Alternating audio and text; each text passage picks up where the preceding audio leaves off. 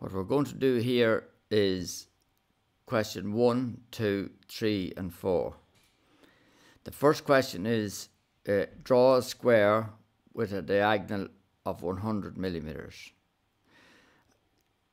The line at the angle in the square is to be 100 millimeters and of course that's always at 45 degrees in a square. So the first thing we're going to do is set off a line at 45 degrees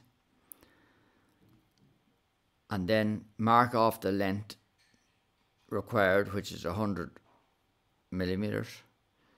So mark the two points. And then draw horizontally through those and vertically through them. And that's your square set out. Now just line that in. And that's a square with a diagonal of 100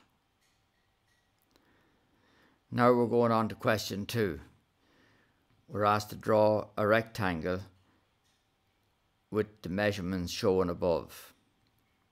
So the base of the rectangle is to be 100 millimeters and the side is 55. So the first thing we do is we draw the two vertical lines through the end of the base, set off the height, using the compass mark the length on both ends and dra draw a horizontal line through those two points. And that gives the rectangle that was required. Now we're going on to question three. In this case it's another rectangle. We have 110 base but with a diagonal of 125. So the first job we'll do again is draw vertically up through both ends of the baseline.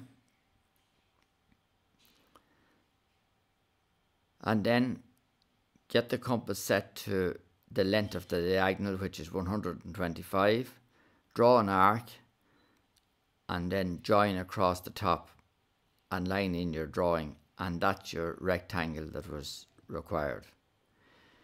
Question four then is draw the parallelogram shown. So with a parallelogram, there's two sides parallel. In other words, these two pencils, they will never meet. The two lines parallel.